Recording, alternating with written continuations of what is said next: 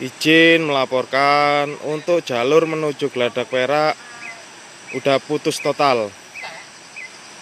Diakibatkan jalur menuju Geladak Perak ambles.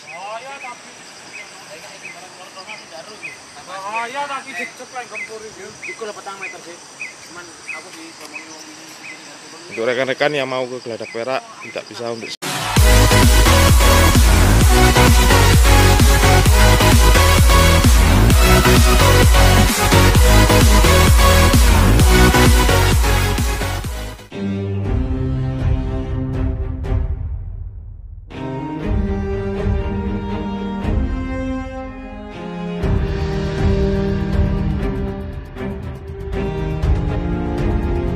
Akses satu-satunya kendaraan roda 2 di piket mall saat ini putus total.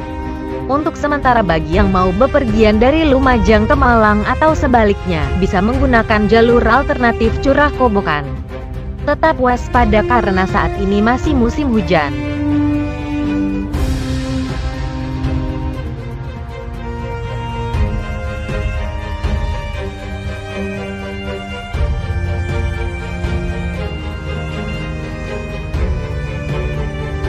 Izin melaporkan untuk jalur menuju Geladak Perak udah putus total.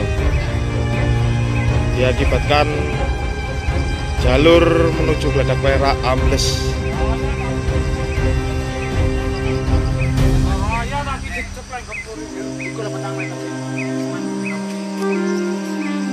Rekan-rekan yang mau ke Geladak Perak tidak bisa untuk